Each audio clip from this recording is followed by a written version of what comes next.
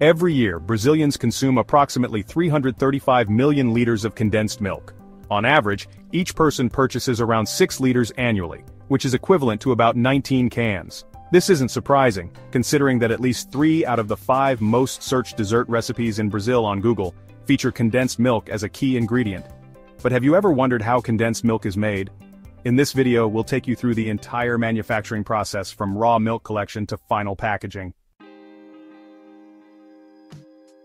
The history of condensed milk dates back to the 19th century in France. A chef named Nicolas Appert was looking for ways to extend the shelf life of food and discovered that boiling milk in hermetically sealed containers helped preserve it for longer periods. This was a revolutionary breakthrough at the time. However, it was American inventor Gail Borden who truly popularized condensed milk. In 1856, he patented a vacuum-based milk condensation process that removed water from milk without compromising its nutritional properties. This innovation allowed condensed milk to be stored for long durations, without refrigeration, making it a crucial food source for maritime voyages and military expeditions. The product arrived in Brazil for the first time in 1890, imported from Switzerland, where it had been produced since 1867. At the time, it was widely consumed by the Portuguese royal court. The packaging featured an illustration of a young woman carrying a bucket on her head, and it was called Milkmaid.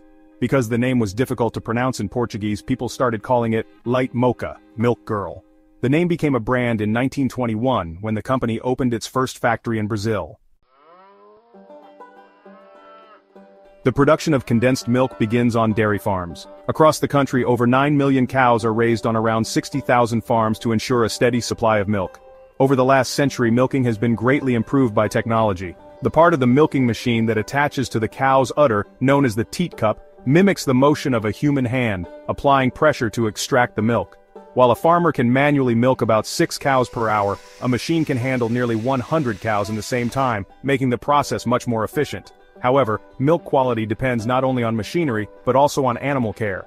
Well-treated cows live longer and produce more milk. On large dairy farms with around 7,500 cows, technology plays a vital role in improving animal welfare and maximizing production. Some of these farms use rotating milking carousels or specialized milking parlors, where up to 80 cows can be milked simultaneously. This process happens twice a day, and cows with a stable routine adapt well to it. Modern systems increase milk flow by up to 30% compared to traditional machines. Before milking begins, farm workers clean the cow's udders with an iodine-based solution to maintain hygiene. The teat cup, which replicates the natural sucking motion of a calf, is then attached to extract milk. The process lasts about 7 minutes per cow, after which the machine automatically shuts off. Each cow consumes roughly 45 kilograms of food and drinks 300 liters of water daily to produce approximately 38 liters of milk per day, 7 days a week. Thanks to technological advancements and better nutrition, today's cows produce almost three times more milk than they did 50 years ago. A cow starts producing milk around the age of 2, after giving birth to its first calf. To prevent bacterial contamination, the calf is typically separated from its mother about an hour after birth and fed with bottled maternal milk. The cow then begins its milk production cycle, which lasts for 305 days, followed by a 60-day resting period before giving birth again and restarting the process. Milk consists of approximately 87% water. When a cow consumes food, it goes through a digestion process that converts nutrients into milk, which is transported through the bloodstream to the mammary glands. Extracted at a temperature of around 32 degrees Celsius or 90 degrees Fahrenheit, the milk is immediately stored in refrigerated tanks at 2 to 3 degrees Celsius or 36 to 37 degrees Fahrenheit to maintain freshness. To become condensed milk, raw milk undergoes strict quality control. First it is transferred to a 20,000-liter tanker truck and delivered to the processing facility. Factories like Nestle operate around the clock to meet demand, processing over 1.6 million liters of milk daily. Milk arrives at the plant in tanker trucks carrying between 5,000 and 7,000 liters per trip, ensuring freshness since much of it was collected just hours earlier. Upon arrival, the milk undergoes rigorous testing to check fat and salt levels, and to confirm the absence of antibiotics, which is crucial for people with allergies. If it meets quality standards, the milk is transferred to massive storage silos. Some facilities have up to 12 silos with a total storage capacity of 2.8 million liters, enough to produce around 20 million cans of condensed milk. The next step is pasteurization, a critical process that involves heating the milk to a specific temperature for a set time to eliminate harmful bacteria and microorganisms without compromising its nutritional value. After pasteurization, the milk goes through standardization, where its fat content is adjusted to ensure the ideal consistency for condensed milk. During this stage, the fat is first separated and then reintroduced in the precise proportion needed.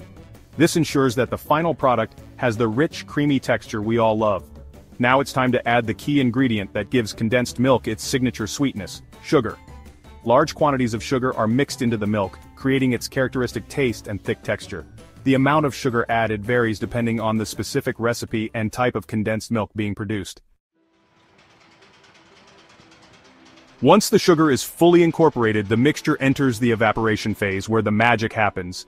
The milk is heated in a vacuum system which lowers the atmospheric pressure and allows water to evaporate at a lower temperature. This helps preserve nutrients and maintain the milk's flavor. During this stage, the milk loses about 60% of its water content, becoming more concentrated and viscous. After evaporation the condensed milk is quickly cooled to prevent sugar crystals from forming, ensuring a smooth and creamy texture. Next, it undergoes homogenization, a process that breaks down fat molecules into tiny particles, preventing separation.